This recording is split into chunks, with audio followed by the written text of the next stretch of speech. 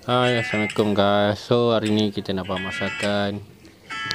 Ikan kembung masak pindang. So kita ada ikan kembung.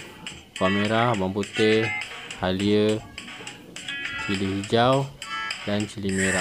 Dan masakan ni dikenali sebagai masakan singgang.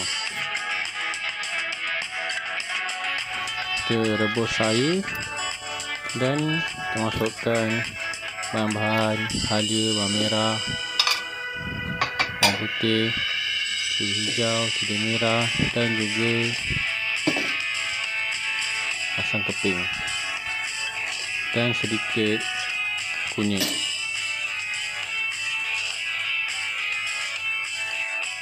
Dan kita gaulkan dan kita masukkan garam dan juga ajinomoto so itu saja guys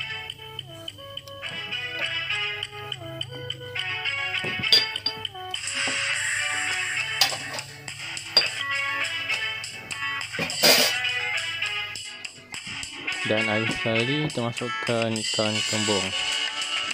Kita gaul dan tunggu sehingga masak.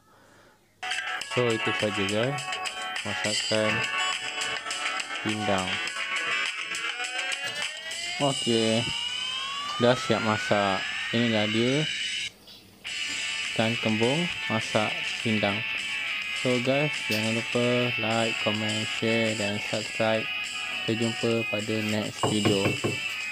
Bye